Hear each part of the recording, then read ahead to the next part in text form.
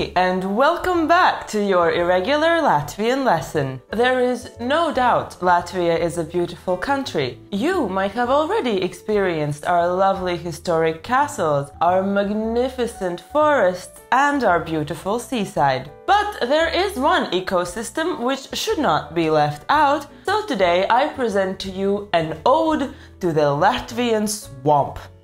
Let's go! The swamp, or purvs, covers 5 to 10% of the Latvian territory, with the biggest one being over 200 square kilometers large. And well, let's just say opinions differ on the virtues and vices of the swamp. From the one side, we Latvians accept the swamp as part of the natural order of things, and also it was the first home of our ancestors. We know that because the way archaeologists figured out when the Proto-Balts settled a region for a extended amount of time for the first time is when they found little stone furnaces that the first men had built and that slowly had sunken down into the ground. And when that happened, when the furnace sank, what did the first Latvians do?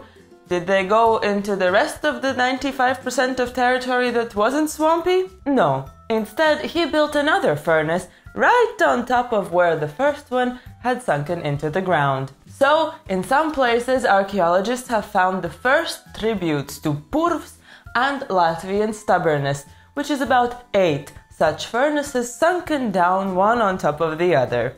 But in general, the Latvian mind sees the Purvs as bīstams or dangerous.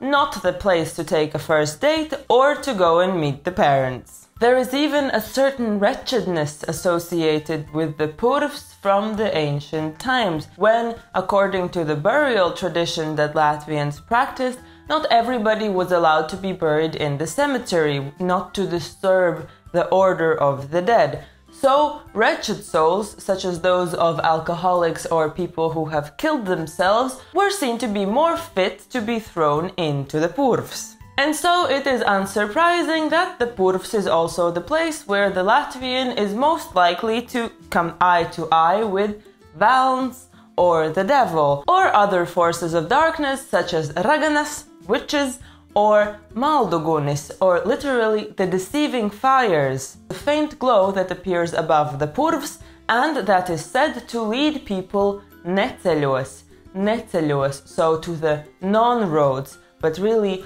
off the right track, away from where they're supposed to be. In best case scenarios, Maldugunis pretend to lead people to riches or towards their desires. For example, they did that to Sprīdītis, one of the famous Latvian literary heroes who went searching for happiness into the wide world, only to find it back home in the end.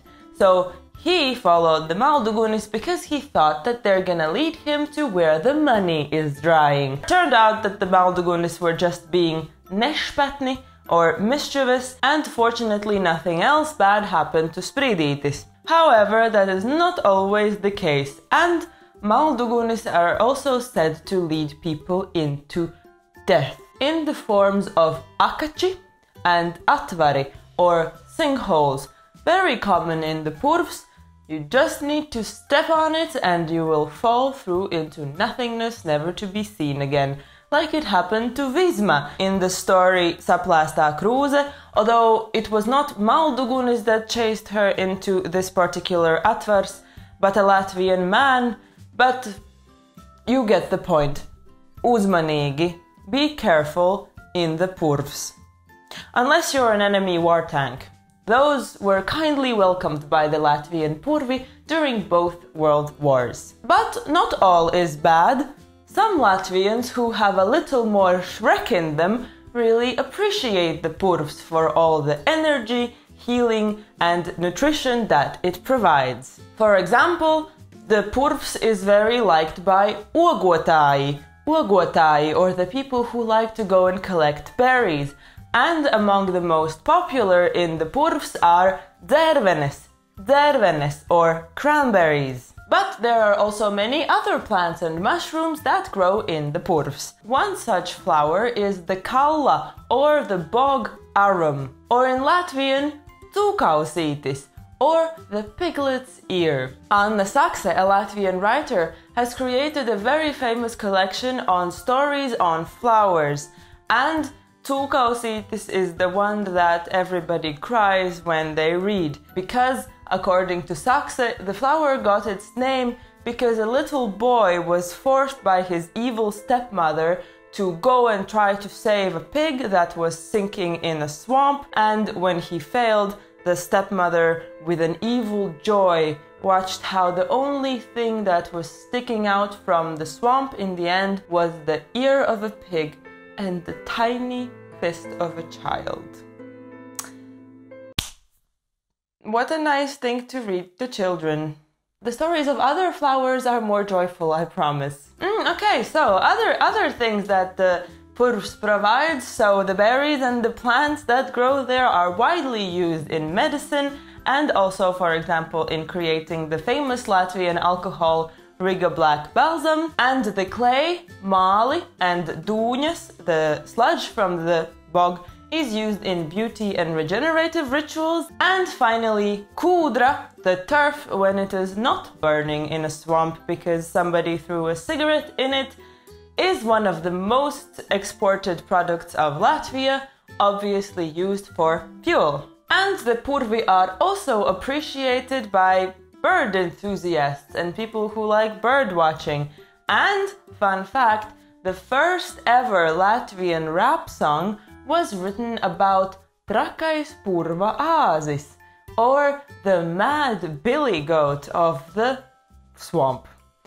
More on that song on my Patreon later. On the bright side, the Purvi are also very skaisti and beautiful, especially at sunrise, which is why the Purvi tourism industry in Latvia has very much developed. In many popular Purvi, long wooden trails are installed so that people could walk through the swamp safely and not have to brist or to wade through it. The purvs and the verb brist really encapture the heaviness of having to walk through the sludgy mess that is a swamp. So, for Latvians, the swamp is a great metaphor for the difficulties that our lives can bring us. For example, when you're having a rough time and somebody asks you, How are you? instead of saying simply slikti, you can say kāpa purvu or like through a swamp, which means bad but with added misery.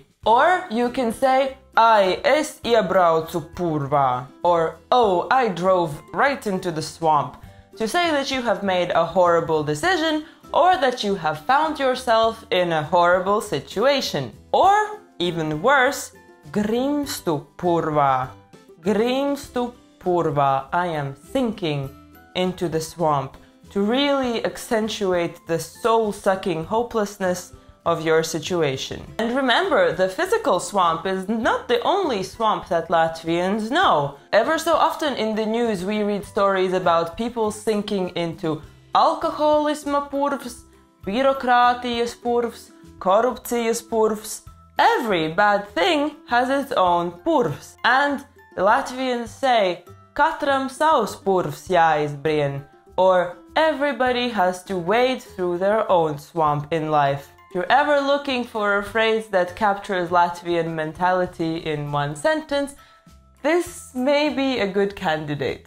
But for all the difficulties that Latvians have faced, they have also become really resilient to them. And so there is an expression that says, Oh, šo purvu es jau izbridu or oh, that swamp, I already waded. To say that a Latvian recognizes a problem or a problematic situation because he already struggled through it, and so they are not going to go there again. And the idea of wading through the swamp as difficulties when living life is also reflected in the Latvian literature. A Latvian classic by Rudolf Blaumanis, Purva Bridējs, or The Wader of the Swamp, tells the story of Christine that basically has to choose between two guys. One is handsome, wealthy, and stable, wants to marry her, And the second is handsome, unstable, and somewhat of a plagurs, which is how we call somebody who drinks a lot. And he is the purvabrides due to his not being able to deal with his drinking and temper problems throughout the book. So, who do you think this wise and prudent girl chooses in the end? Yep, unfortunately, just like many Latvian women, Christine goes for the plagurs.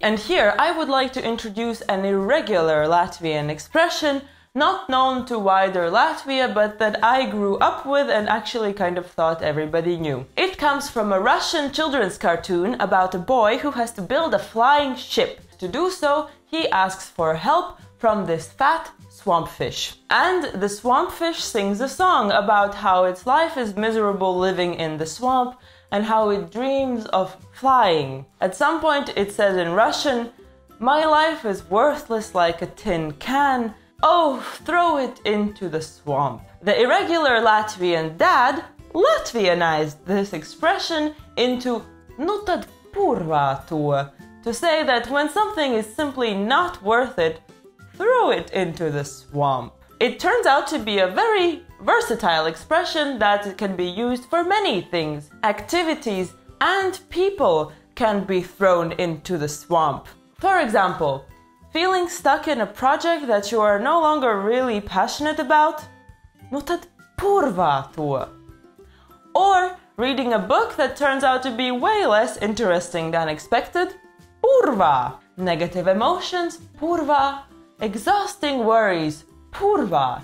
And if you find yourself entangled with a purvabrides, how about purva them as well? And there you go, one step closer to understanding Latvians now that you understand their purvs. What are your thoughts on the purvs? Have you already visited one and enjoyed it? As always, thanks for supporting me on Patreon. A dissection of Latvian swamp rap is waiting for you there this month. And thanks for watching as well. See you soon, maybe.